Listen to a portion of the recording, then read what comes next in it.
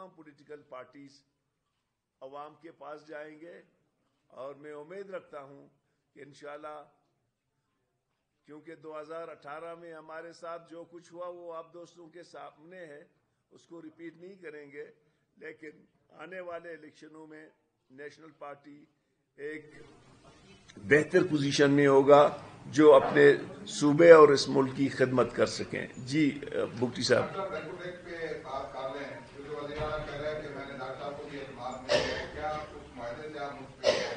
Sir देखें, मैं बात सुनो बुक्टी साहब। हम लोग इस बुढ़ापे में क्यों झूठ बोले? हमें क्या ज़रूरत है? सीएम साहब ने, जब मैं तुरबत में था, मुझे कॉल किया कि आप आ जाए, हम आल पार्टीज़ की को ब्रीफिंग दे रहे हैं। मैंने कहा, बिल्कुल जी, बलूचिस्तान का असासा है, हम आ जाएँगे।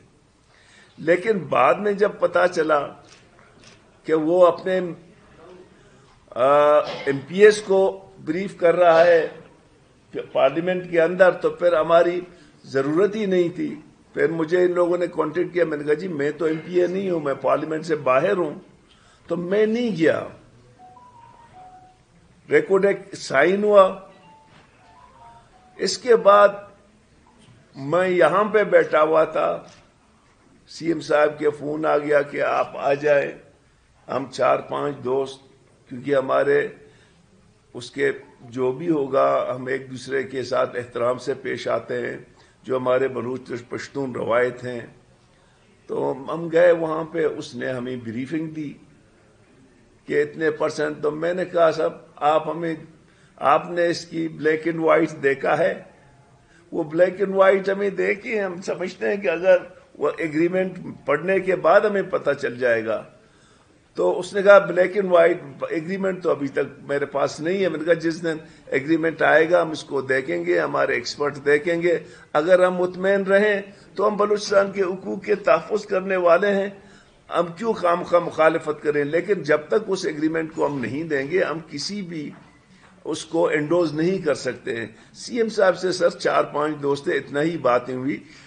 अगर एतमाद में लेना होता तो एग्रीमेंट से पहले लेते थे। एग्रीमेंट हो गया, फिर वो हमारे पास आए। वो हमारे भाई हैं, हमारे दोस्त हैं। हम सब उसकी इज़्ज़त करते हैं। तमाम बलूचिस्तान के एक दूसरे की हम इज़्ज़त करते हैं।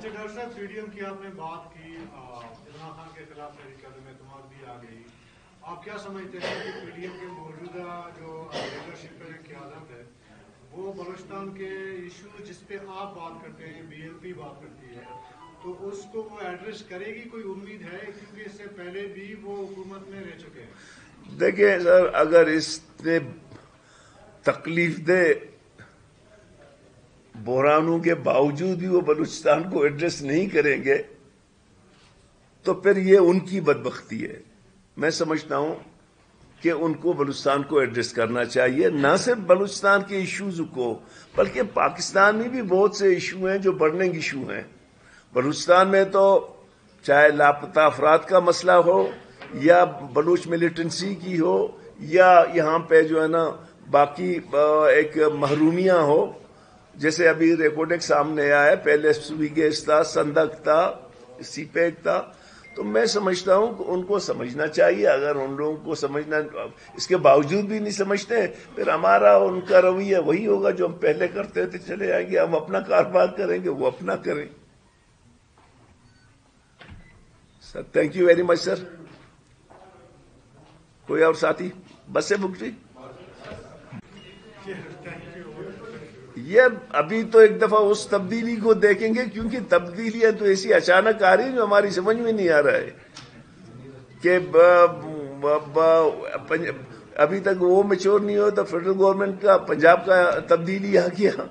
तो ये, फ़िलहाल हम प्रिडिक्ट नहीं कर सकते हैं किसी भी चीज़ का। अब देखिए, इमरान खान के जेब में क्या है? वो दिखाएगा क्या साजिश हो रही है इस मुल्क के खिलाफ। उसके अपने खिलाफ। वो आएगा तो फिर देख लेते हैं, सर। जी, सर, आप।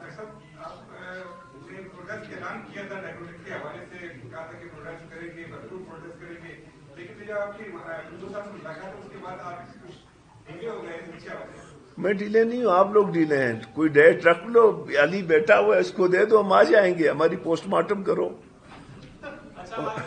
जी। नहीं, हमारे हैं, वहाँ पे हमारे दोस्त हैं। नहीं देखें एक तो ये है कि वहाँ पे जो गेम खेला जा रहा है, वो कौमी असम्बली में। कौमी असम्बली में हमारी कोई नुमाइंदगी नहीं है। बाकी पीजीए में हम हैं, हमारी नुमाइंदगी है। पहले कबीर साहब होते थे, अभी ताज साहब उतरी हैं, अकरम साहब हैं। क्योंकि वो हम लोग नेशनल असेंबली में तो नहीं है फ़िलहाल नेशनल असेंबली का खेल है। जब सेनेट का खेल शुरू होगा तो फिर उसमें आप हमें देखेंगे।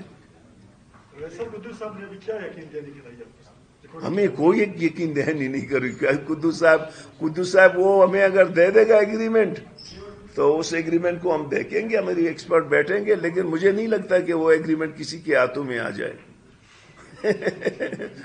बरल मैं तो जो एग्रीमेंट पहले होने वाला था, वो बहुत बेहतर था। Thank you very much sir